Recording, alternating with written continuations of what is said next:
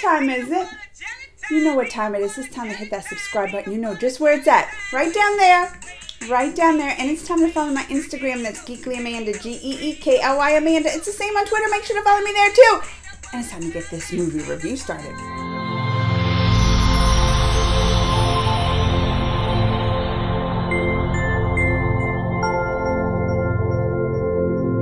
All right, y'all. This weekend in theaters is A Quiet Place Part 2.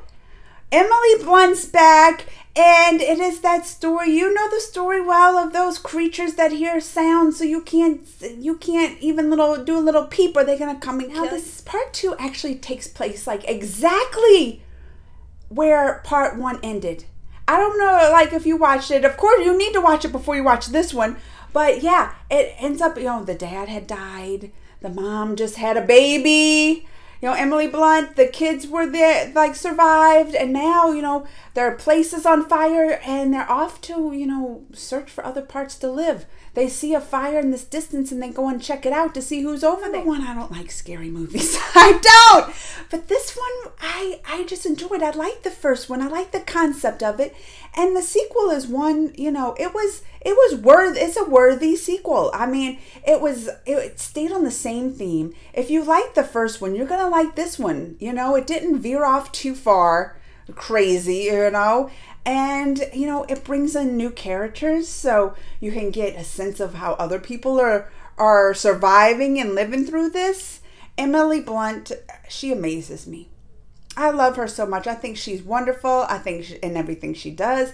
And she can go from being like a singing to Disney movies to playing these horror, these characters in these horror roles. This is one I definitely suggest seeing on the big screen. I know it's COVID time and all that stuff, but I mean, sound for number one in this, you know? I mean, it's all about the sound in this one. It's about, you know, these little tiny noises that just kind of boom as, oh, you know, in the theater because every, in moments where everything is just silent. I mean, they have the girl in here is deaf, so you get moments where you hear nothing and then, you know, you hear in the, the sound editing, I'm just saying, needs to win awards for this.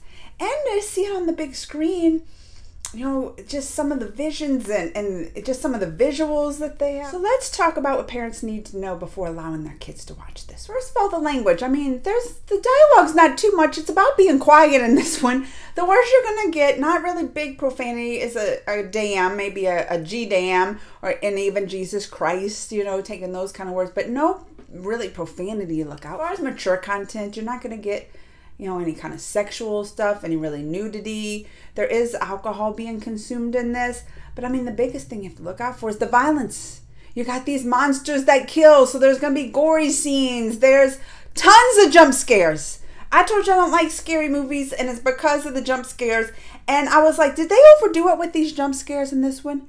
Because I was even jumping when birds were flying off, and I was like, stop with the jump scares already.